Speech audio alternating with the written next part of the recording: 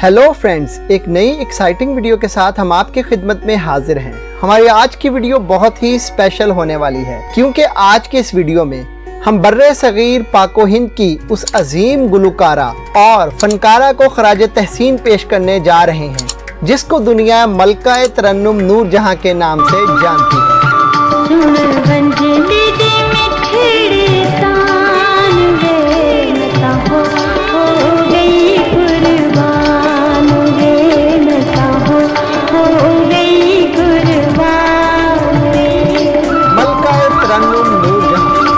सितंबर 1926 को कसूर पंजाब में पैदा हुई। इनका नाम अल्लाह रखी वसाई रखा गया। लेकिन उन्होंने शोहरत मलका तरन्नुम नूर जहाँ के नाम ही से हासिल की। नूर जहाँ हिंदुस्तान के एक मुस्लिम खानदान के 11 बच्चों में से एक थी। इनके वालदेन मदद अली और फतेह बीबी पेशावर मौसीकार थे। नूरजहां के वालदेन ने बचपन ही से अपने बच्चों को गाने की तरगीब दी। और ख़ास तौर पर अल्लाह रखी वसाई पर उनकी ख़ास नज़र थी, क्योंकि इस बच्ची को अल्लाह ताला ने एक ख़ास टैलेंट से नवाजा था। नूरजहां ने गाना इस वक्त शुरू किया जब वो पाँच बरस की थी, और इनकी वालदा ने फ़ौरन अपनी बेटी के अंदर मौजूद सलाहियतों को पहचान लिया, और नूरजहां को उस्ताद बड़े गुलाम अली खान के जेर साया, क्लासिकल गायकी की इब्तदाई तरबियत हासिल करने का बंदोबस्त किया गया। उस्ताद बड़े गुलाम अली खान ने इन्हें हिंदुस्तानी क्लासिकल मौसीकी पटियाला घराने की रवायात के मुताबिक सिखाई और ठुमरी, द्रोपद और ख्याल की क्लासिकल शक्लों में इन्होंने बहुत ज़्यादा महारत हासिल की। नौ साल की उम्र में नूरजहां ने पंजाबी मौसीकार गुलाम अहमद चिश्ती की तवज्जो हासिल कर ली, जो बाद में इन्हें लाहौर के स्टेज पर ले आए। जहाँ इन्होंने अपनी फन अदाकारी के जौहर दिखाए। और इसके साथ साथ वो गज़लें, नाते और लोकगीत भी गाती रही। नूरजहां ने लाहौर में अपनी बहन के साथ गाने गाना शुरू कर दिया। और लाहौर के सिनेमा घरों में फ़िल्मों की नुमाइश से कबल वो आमतौर पर लाइव गाने और रक्स की परफॉर्मेंस में हिस्सा लेती थी। नूरजहां का कैरियर बनाने के लिए इनका खानदान कलकत्ता चला गया, क्योंकि वहाँ पर फ़िल्म इंडस्ट्री बड़ी तेज़ी से ग्रो कर रही थी। और इधर हिंदुस्तान के इस हिस्से की जानब इसको आज पाकिस्तान कहा जाता है। अभी फ़िल्मों का इतना रवाज नहीं था।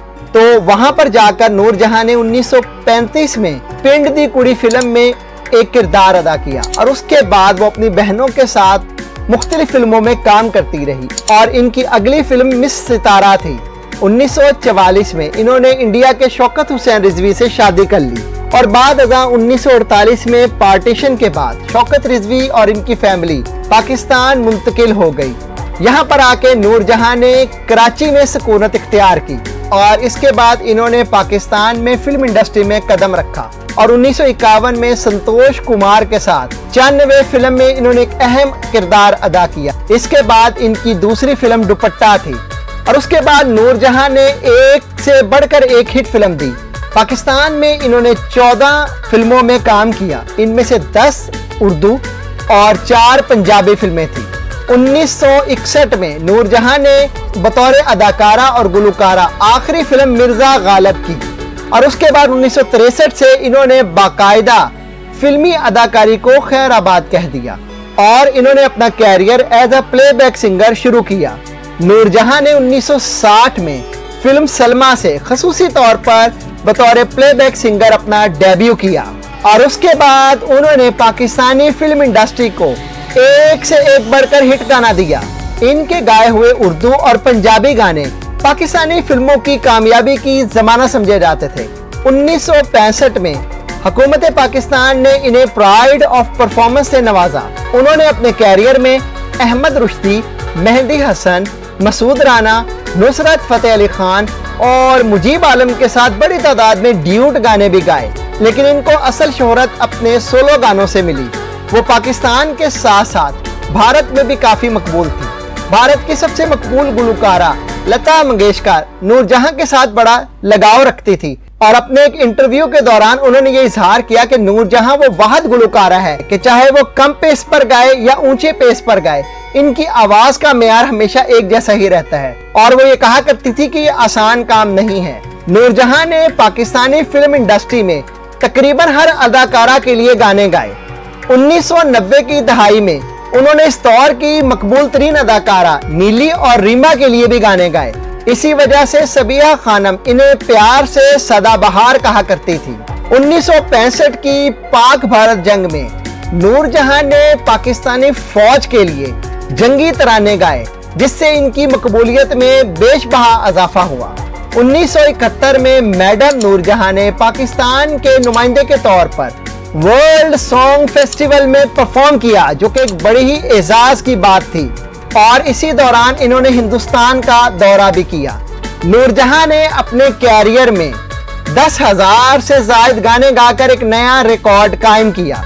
मलका तरन्नुम नूरजहां एक बेहतरीन खातून प्लेबैक सिंगर थी और इसके लिए वो पंद्रह से ज़्यादा निगार अवार्ड अपने नाम कर चुकी हैं।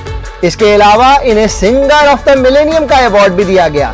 जीनत फ़िल्म में उन्होंने पहली मरतबा एक कवाली गाकर पहली एशियाई खातन का एजाज हासिल किया जिसने कवाली गाई। अमरीकी पॉप गुलकारा। मेडोना का ये कहना है कि वो हर गुलकारा की कॉपी कर सकती है, लेकिन नूर जहाँ की नहीं। इसके अलावा नूर जहाँ सदारती अवार्ड भी हासिल कर चुकी हैं। नूर जहाँ को कई बावकार एजाजा से नवाजा गया, जिनमें प्राइड ऑफ़ परफॉर्मेंस भी शामिल था।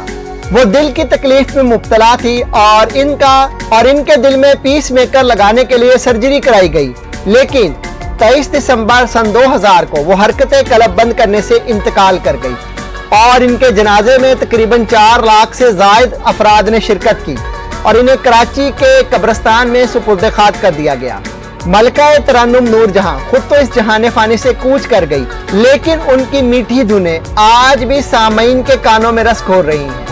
और जब तक दुनिया में उर्दू और पंजाबी जबान बोली और समझी जाती रहेगी, नूरजहां का नाम हमेशा ज़िंदा रहेगा।